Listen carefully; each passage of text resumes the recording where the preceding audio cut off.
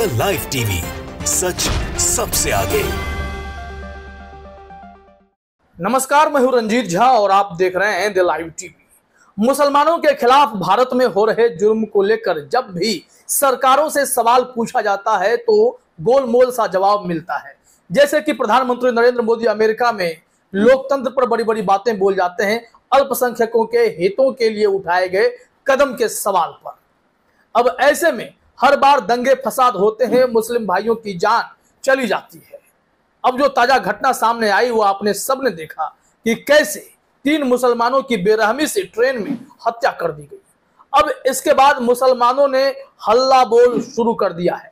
सड़कों पर विरोध प्रदर्शन साफ़ तौर पर देखने को मिल रहा है। आप अपने स्क्रीन पर यह वीडियो देखिए। इस वीडियो में लाखों की संख्या में मुसलमान जयपुर की सड़कों पर उतर आए हैं।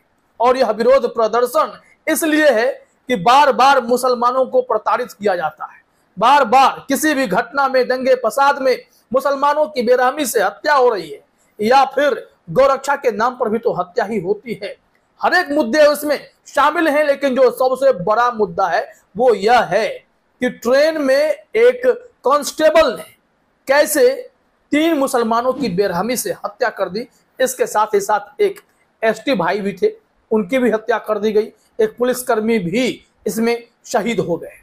और इसमें पाकिस्तान से कनेक्शन इसलिए जुड़ने लगा है क्योंकि उस घटना का एक वीडियो भी वायरल हुआ है। इसमें पाकिस्तान जैसे शब्दों का भी इस्तेमाल होता हुआ उस वीडियो में दिखाई पड़ा है। आज तक ने यह बात कही है। हालाँकि वो खबर हम आपको आगे दिखा रहे हैं, लेकिन इससे पहले जरा इस जनसैलाब को देखिए, इस भीड़ को देखिए।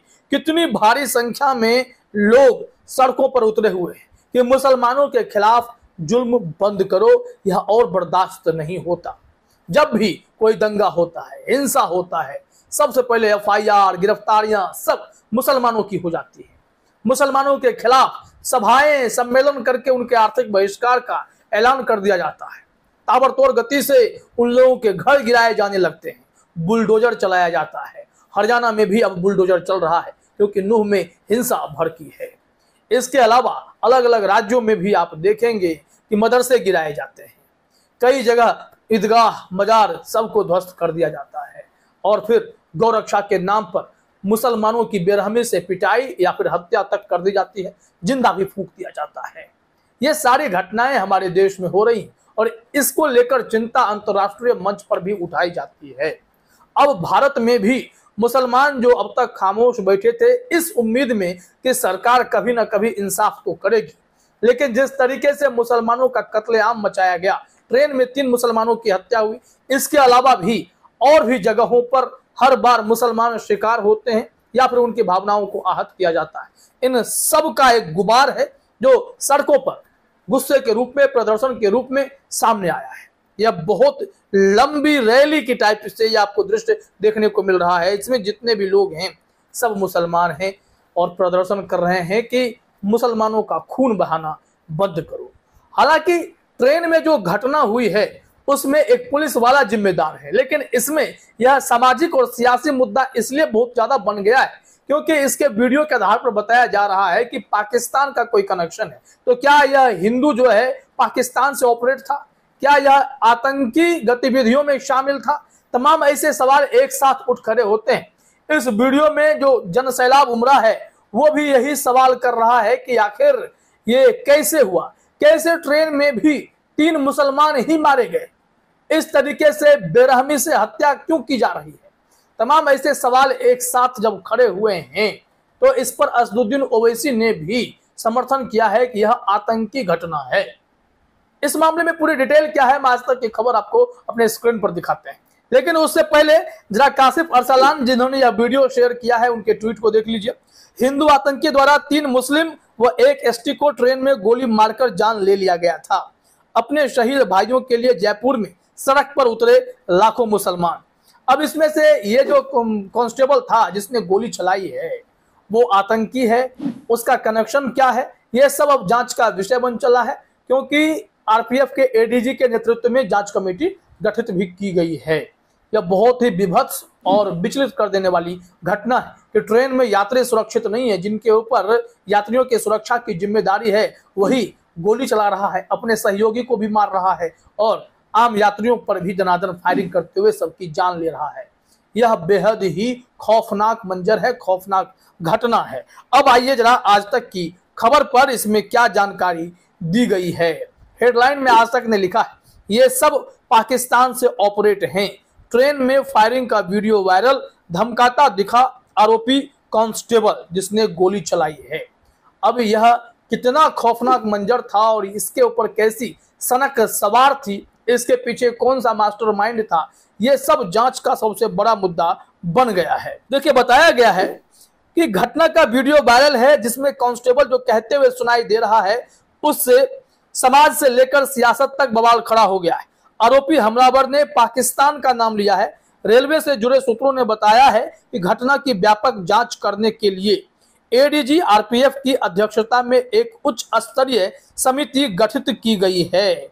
यह पाकिस्तान से ऑपरेटेड है, कैसे कह दिया गया? अब इस वीडियो में ऐसी कौन सी खास बात है? इन सारे बिंदुओं पर गहन जाँच की ज़रूरत है। अब इस वायरल वीडियो में क्या कुछ बताया गया है? ये वीडियो हमारे पास तो उपलब्ध नहीं है, लेकिन यह जाँच इस वीडियो का चल रहा है। आज तक के खबर के मुताबिक जो जानकारी है, जरा स्क्रीन पर देखिए कि इस घटना का एक वीडियो भी वायरल हो रहा है। इस वीडियो में आरोपी हमलावर चेतन पीट करके खड़ा है। उसके पैरों के पास ही एक शव पड़ा हुआ है। चेतन कुछ बोल भी रहा है। इसमें सब कुछ स्पष्ट तो नहीं हो रहा, लेकिन जो आवाज़ें सुनाई पड़ रही हैं, उनमें वह यह कहते हुए सुना जा रहा है कि ये सब पाकिस्तान से ऑपरेट हो रहे हैं। इस घटना के बाद ट्रेन को मीरा रोड रेलवे स्टेशन के पास रोक दिया गया। ट्रेन में सहमे यात्रियों ने किसी तरह चेन खींची थी। इसके बाद रेलवे सुरक्षा बल का जवान चेतन सिंह हथियार के साथ रेलवे ट्रैक पर भाग रहा था। Mira road railway station staff पर ड्यूटी पर मौजूद पुलिस, जीआरपी और रेलवे सुरक्षा बल आरपीएफ ने तुरंत उसे पकड़ लिया और हथियार के साथ हिरासत में ले लिया। उक्त घटना को लेकर बोरीवली रेलवे पुलिस स्टेशन में मामला दर्ज किया गया है। यह मामला 31 जुलाई को घटित हुआ था। और कैसे बेरहमी से हत्या की गई है, जिसकी कितनी भी निंदा कर दी जाए भर्सना कर दी जाए, वो कम है क्योंकि यह मंजर ही बेहद खौफनाक रहा होगा। हर यात्रियों की सांस फूल गई होगी, क्योंकि जब वह गोली चला रहा होगा तो ना जाने कितनों की वो बलि चढ़ा देता। ये तो चेन खींचने वालों की बहादुरी को सलाम है, और जब वो भागने लगा तो पुलिस वालों ने कैसे उसे पकड़ा, और सारा मामला सामने आया। अभी भी इस कांस्टेबल को लेकर सघन जाँच की ज़रूरत है, पता तो चले कि इसका कनेक्शन कहाँ से कहाँ तक फैला हुआ है। इस मामले में असदुद्दीन ओवैसी ने भी प्रतिक्रिया दी थी। उन्होंने क्या कहा था, जरा देखिए आप अपने स्क्रीन पर। इस घटना का वीडियो वायरल होने के बाद मामले ने तूल पकड़ लिया। एआईएमआईएम के चीफ असदुद्दीन ओवैसी ने ट्वीट करते हुए कहा कि यह एक आतंकी हमला है, जिसमें विशेष रूप से मुसलमानों को निशाना बनाया गया है। यह लगातार मुस्लिम विरोधी और उनके खिलाफ घृणित भाषणों का परिणाम है। उन्होंने पीएम मोदी को टैग करते हुए सवाल किया कि इसे खत्म करने के लिए क्या आरोपी आरपीएफ जवान को बीजेपी उम्मीदवार बना दिया जाएगा? क्या उनकी जमानत को सरकार समर्थन देगी? क्या रिहा होने पर उन्हें माला पहनाई जाएगी? ये एक सवाल है और इसमें क्योंकि बीजेपी वालों ने ऐसा कारनामा कर रखा है। गुजरात में बिल्किस बानो के 11 दोषियों को जब रिहा किया गया तो उन लोगों को फूल माला पहनाया गया था, मिठाई बांटे और वो भी बिल्किस बानो के साथ रेप करने वाले दरिंदे थे। और इनकी समय पूर्व रिहाई हुई और फिर स्वागत जितना जोरदार हुआ और बीजेपी के विधायकों ने इन्हें संस्कारी बताया, ब्राह्मण बताया तो फिर उस वक्त भी आलोचना हुई थी कि भारतीय जनता पार्टी की सरकारें ऐसे रेपिस्टों को, हत्यारों को शरण देती है, सुरक्षा देती है, तारीफ़ करती है। तो क्या इस हत्यारे का भी वही अंजाम होगा? बीजेपी टिकट देकर चुनावी मैदान में उतार देगी क्या? वैसे जिस तरीके से मुस्लिम भाइयों ने प्रतिकार किया है, सड़कों पर उतरकर प्रदर्शन किया है, इतना जन सैलाब सा उम्र पड़ा है तो सरकार निश्चित तौर पर कोई ना कोई एक्शन तो लेगी ही। फ़िलहाल इस वीडियो में इतना ही। आप सभी का हमसे जुड़ने के लिए बहुत बहुत धन्यवाद द लाइव टीवी सच सबसे आगे।